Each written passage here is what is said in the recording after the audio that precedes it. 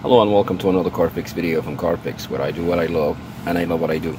Uh, today's video is going to be about uh, uh, uh no heat on a 2017 uh, Kia Sportage. Now uh, the, the passenger side does have heat but the driver's side does not. now I pulled the codes out of the, the control module and the code was um, B240 677 for the air mix on the drive on the driver door on the driver's side. Uh, now, uh, uh, according to the data stream right here, I know as you can see, this is the driver side air mix right here, and the percentage says 9. So when I turn the knob, the number should change, the percentage should change, especially when I turn it to, to, to heat. But it's not changing. Now, the bottom one is it says 9.4, that's the passenger side. Now, watch what happens when I turn it it changes. So uh, there's something going on with the signal or the uh, the uh, the uh, the air mix uh, actuator itself. So we're just gonna go there and uh, you know start checking you know power and ground and all that good stuff. First, we need to locate the uh, the actuator for the uh, driver air mix. Uh, now it's on the left side right here behind those plastic trims. So I have to remove the the undercover of the um, steering column and close it's it's right there it's this guy right here so I have to clear all this trim uh, so I can uh, get gain access to it all right now after removing all the the plastic trims and all the covers uh, I have good access to the uh, the actuator right here now the actuator has uh, five wires connected going to it. Uh, the orange and yellow, that's uh, uh power and ground, you know, for cool and warm.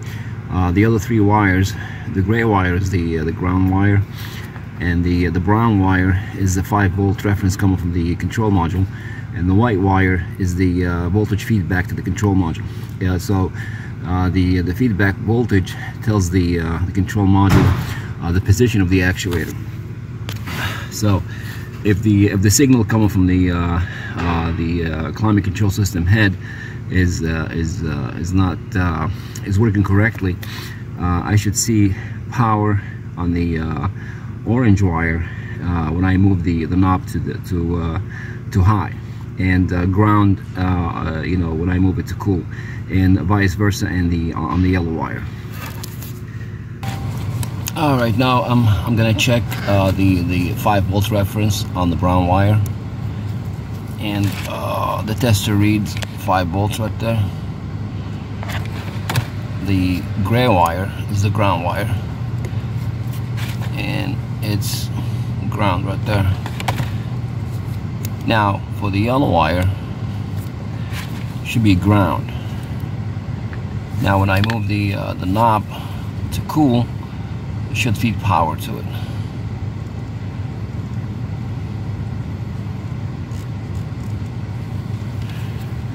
Now it's feeding power to it.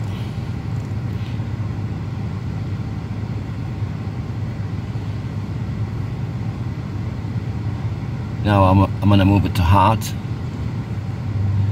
and it's still ground. Move it back to cool.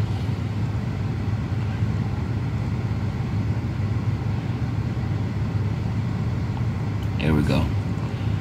Now I'm going to do the same test with the uh, orange wire.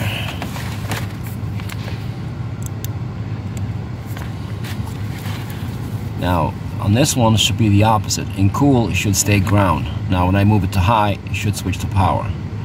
Now I'm moving it to cool, still ground. Now I'm moving it to high.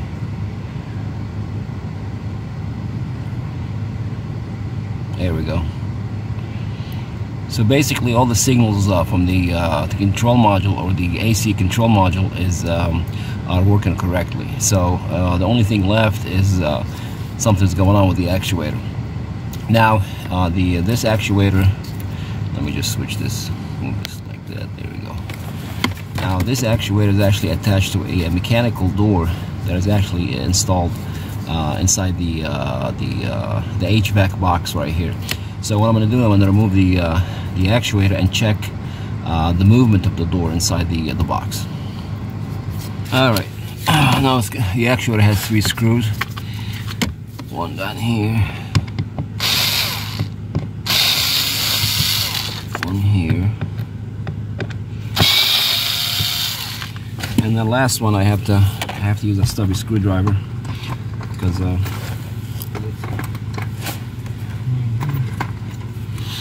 there we go.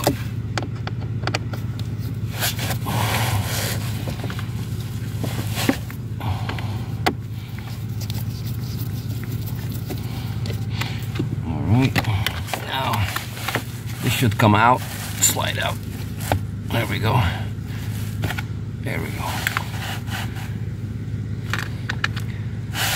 All right, now this actuator is attached to this door right here. Now this should move freely right here. As you can see, it does.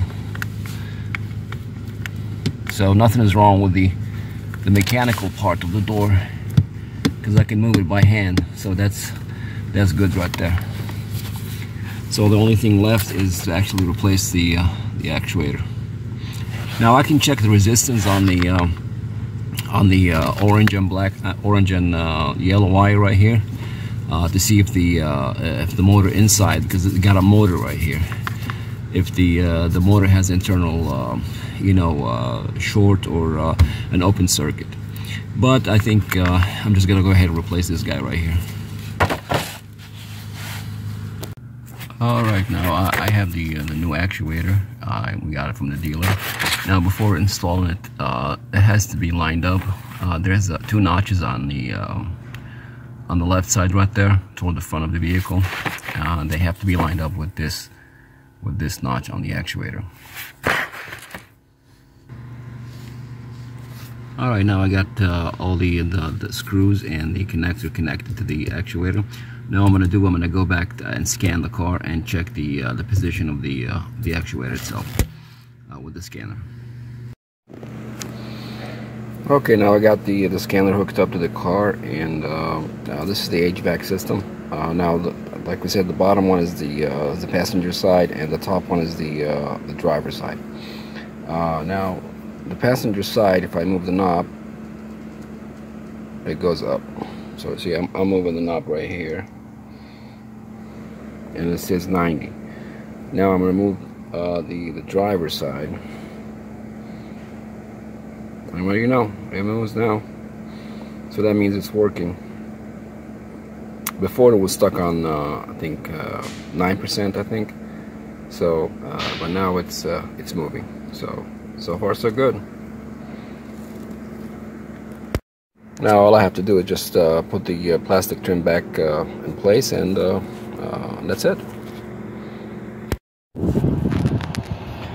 Alright, now after uh, replacing that actuator, I'm checking the heat right here and it's it's blowing hot and uh, you can see it says high right here, so and everything is working. Alright guys, this is the end of this video. Uh, thanks for watching. Uh, please like, share, and subscribe. And also check out my uh, my other videos on uh, on my channel. And um, if you have any questions, any comments, please leave them in the comment section below. thanks for watching, and I'll see you then.